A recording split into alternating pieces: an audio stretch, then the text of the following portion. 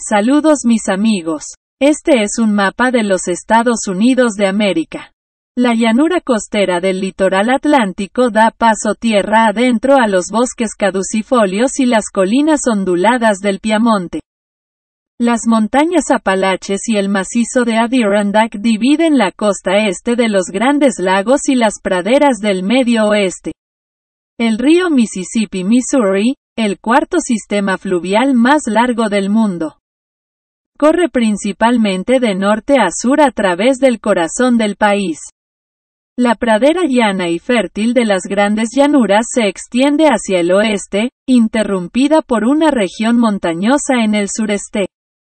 Las montañas rocosas, al oeste de las grandes llanuras, se extienden de norte a sur por todo el país, alcanzando un máximo de más de 14.000 pies en Colorado. Más al oeste se encuentran la gran cuenca rocosa y desiertos como el de Chihuahua, Sonora y Mojave.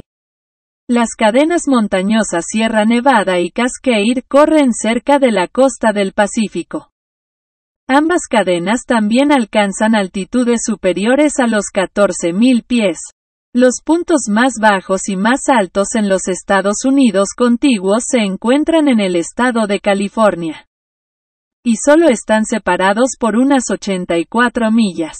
A una altura de 20.310 pies, el Denali de Alaska es el pico más alto del país y de América del Norte.